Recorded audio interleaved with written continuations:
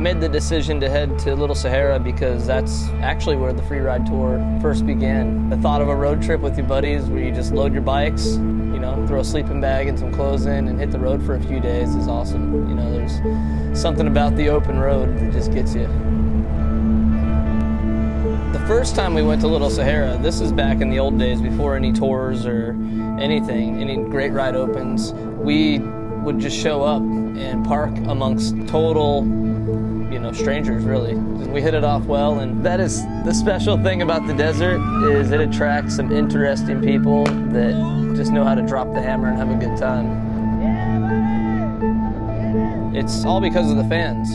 The idea is to give back and that's what the free ride tour has done. We go out we do a little riding and you know we get some people tagging along having some fun but at night we have the opportunity to give stuff away to the fans, and, and they're really stoked on that. Now, This is our last stop of the Ronnie Renner Tour this year. We hit up Glamis, Ocotillo. This is actually the spot where this whole thing started, uh, the brainchild of it. Here you go, Mr. Ronnie Renner.